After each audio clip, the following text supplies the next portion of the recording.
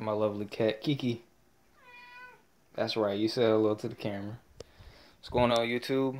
I've got another unboxing video again. Well, not really unboxing. This is actually something I've had for a long time.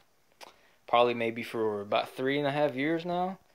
So I was just going to like, you know, show it off more like a, you know, a detailed video just showing it off. Now, if you don't know what this is, this is actually a real life replica of Nero's sword for Devil May Cry 4 you can sharpen the blade and everything and this weighs approximately I think right at 26 pounds. So it's it's pretty hefty. You can actually sharpen the blade and everything.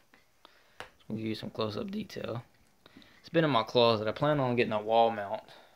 You know probably mounting it on my wall somewhere. Look at the detail on it. This is actually going to be a really really quick video. And you got the handle Got some straps right here that are actually authentic. The handle right there. Sharpness of it. Pretty much the same thing on each side. And it is, it's pretty heavy. It really is.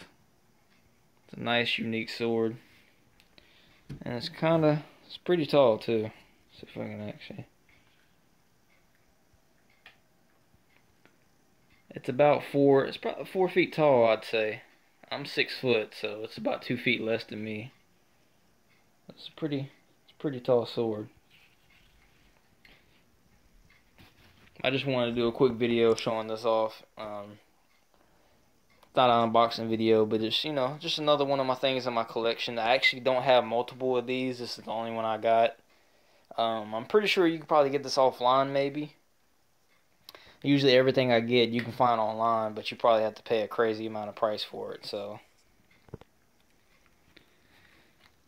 definitely appreciate y'all checking out this video. I'll probably be uploading this alongside the um, zombie dog video. You know, just have two unboxings in a day since you know I didn't really get to one last Monday, but I appreciate y'all watching this quick little video. I know it's not really an unboxing video, but you know, I thought that maybe y'all want to see, you know, some of the other stuff I have. Um, if you're interested, if you're a Blu-ray collector, I do have some Blu-ray unboxing, like collector, collector, collector's editions.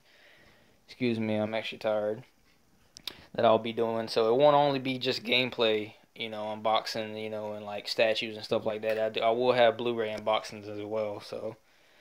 I hope everybody has a safe Monday. You know, enjoy your week. Work smart, not hard. And I'll see you on the next live stream.